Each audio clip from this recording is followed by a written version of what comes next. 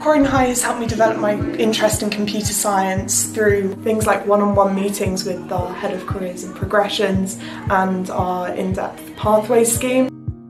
Also the extracurricular activities that I've taken part in throughout my years, like competitive coding club which I help lead,